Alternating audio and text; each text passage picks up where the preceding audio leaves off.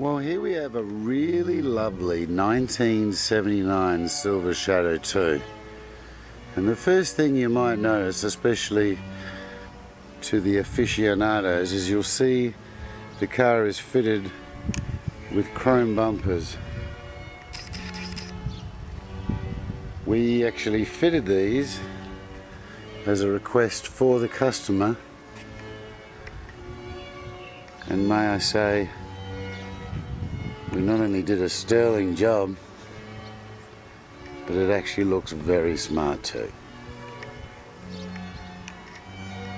A 79 Silver Shadow 2 that looks like a Silver Shadow 1 let's call it.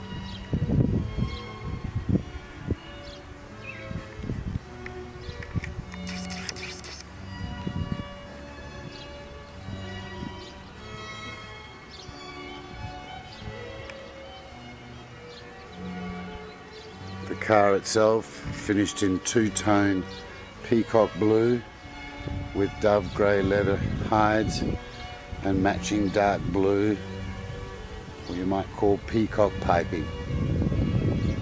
Very beautiful car, presents lovely and certainly quite unique with the chrome bumper conversion kit.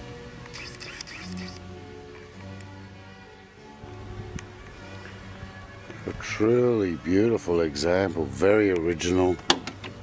This is a car that has not been restored by us.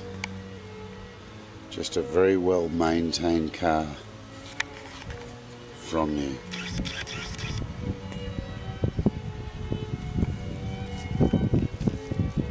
Plastic on the seat to of course protect it during transport. But the leather beautiful.